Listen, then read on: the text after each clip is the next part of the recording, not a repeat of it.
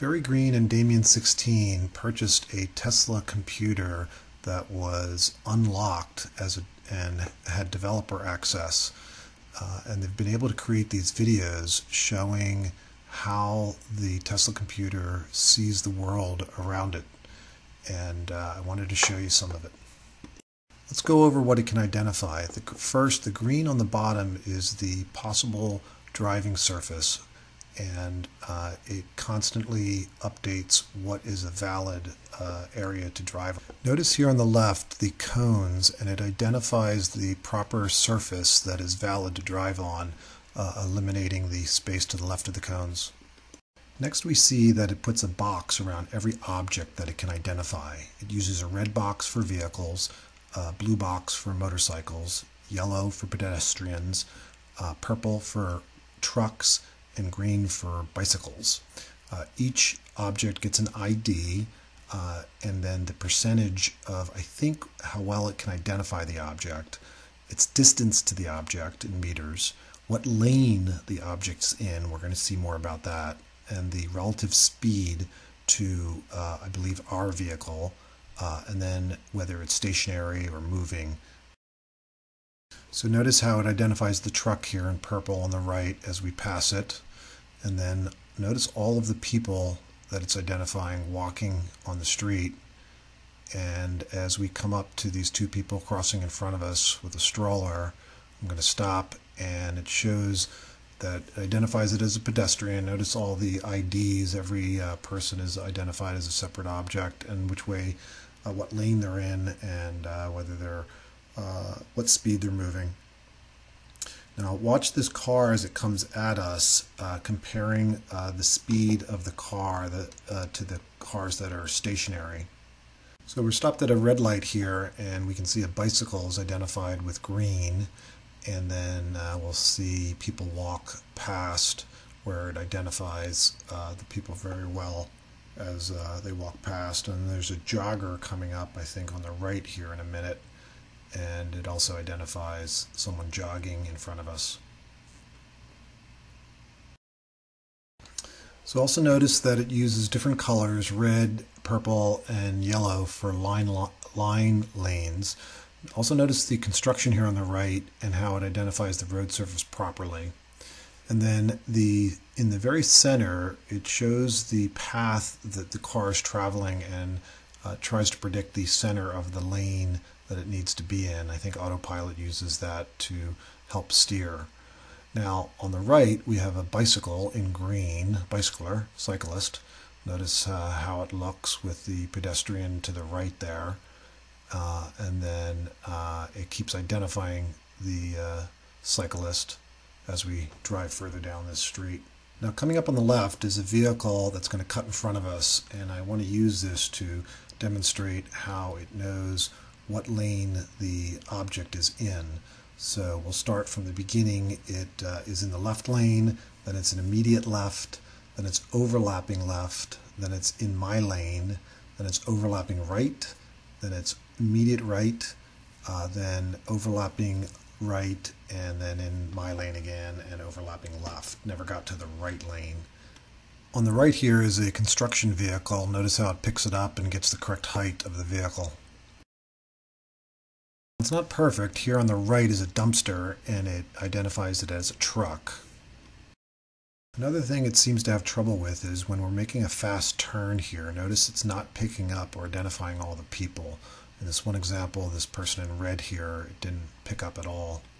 In this example, there's a poster of a person uh, coming up here, right there in the center, and it identifies it as a person.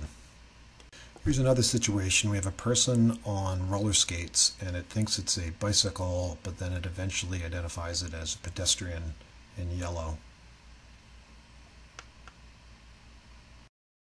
This is a real busy uh, intersection here with some strange person making a left-hand turn, but what you'll see here is on the right, a person on a little scooter going by and it picks it up as a pedestrian. I thought this was interesting at how many people can identify. It really is doing a lot of processing to identify all those people individually. Here again, a lot of people on the sidewalk. It's picking up and identifying each of them an object. Now the latest video from Verygreen and Damian show us all six cameras. We have the left pillar camera in the top left, uh, the left rear facing camera on the bottom left, uh, same on the right, and then we have the fisheye camera up top in center and the main camera uh, bottom center. And notice that with V9, the uh, they're able to put a box around the object to get a better understanding of the object. Here we're at a stoplight and watch how it notices and identifies the objects as they pass in front of us, uh, coming from the left through the center to the right cameras.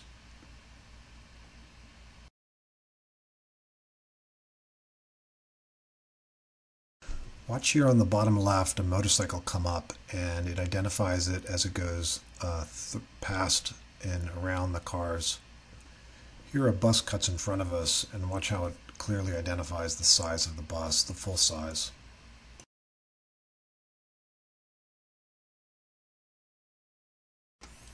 Here we have a merge situation where we're going to merge onto a highway on the right and what's nice to see here is the bottom right gives you a very good view of whether cars are uh, in our lane so that we make the decision to merge or not. In this video we have a motorcycle coming up from the bottom right uh, and watch how it goes from the rear facing right camera to the right side then the fisheye picks it up and then the front facing camera picks it up at the bottom center. In this uh, video Verygreen drives through the tail of the dragon uh, road or course uh, in uh, North Carolina. Notice the bottom center is the rear camera with that motorcycle coming up from behind and passing us. Watch how well the Tesla identifies the road surface and the road lines on this very, very curvy road.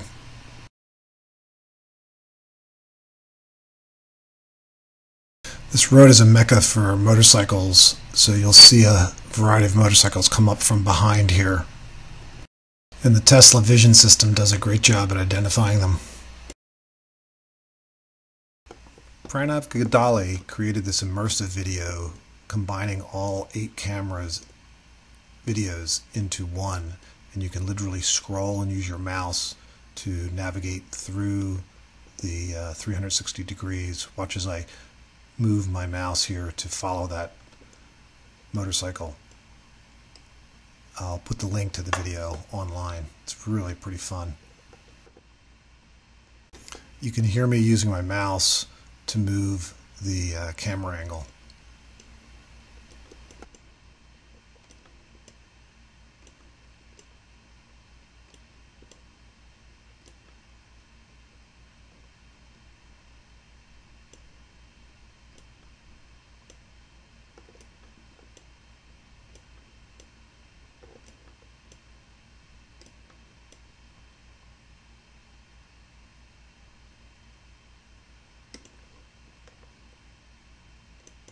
This video shows a construction zone, but prior to getting to it, notice the edge, green edge, uh, where it identifies the road surface. It's nice and clean here before the construction zone.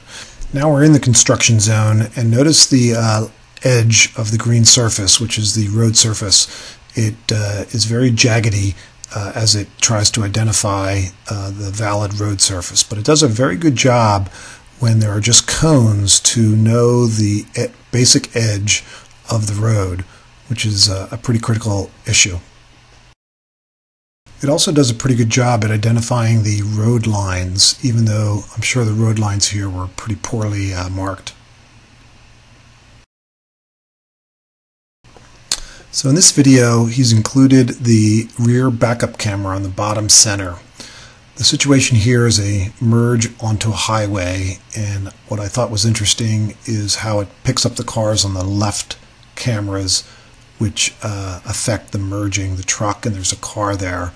And watch how far back it still detects them as uh, we merge onto the uh, highway here. Next, in the center lane that we're getting into, there's a construction uh, warning vehicle that we're about to pass. Notice how it picks up the full height of that, even though it's a super tall uh, object.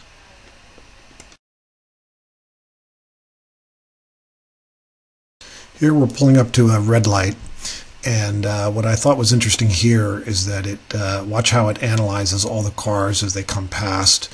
And in a stationary uh, situation here it's still uh, detecting and analyzing.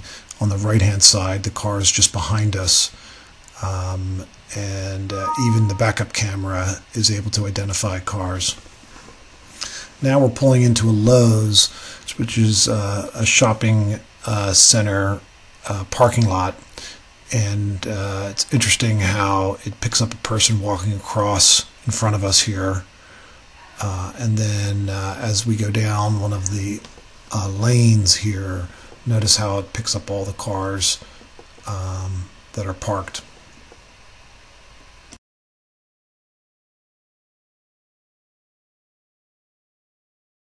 This next example, we back up in a parking lot. So we're pulling out of a parking spot. The bottom center camera is the backup camera. The front cameras are on top of it, showing us pulling backwards out of a spot. There was no car parked in front of us. They're turning as they back up. There's a person walking there in front of us. And then now they're going to go forward down the lane Notice how it picks up all the cars in the parking lot, moving cars and stationary cars. This video is from a highway. Uh, notice how well it identifies that truck as it passes it, showing all the camera angles again. Here on the left is a uh, truck pulling a trailer. Notice how it identifies it on the left hand side and then on the right coming up is another truck with a trailer that it identifies that we're going to pass there on the right. So I really wanted to thank uh, Verygreen and Damian for creating these very, very amazing uh, videos and hopefully uh, you're okay with me doing this narration of uh, your work. Thanks for watching. If you want to see some of my other Model 3 videos, they're here in the top right. I just created a new channel, Nick's Pickleball Life, for my pickleball adventures. The name's weird, but the game is great, and you can find games virtually everywhere. If you want six months of free supercharging, please use my referral code listed on the bottom left. My Twitter, Facebook, and Instagram accounts are listed on the bottom right. And please don't forget to subscribe and tell your friends. Thanks, everyone. Bye bye.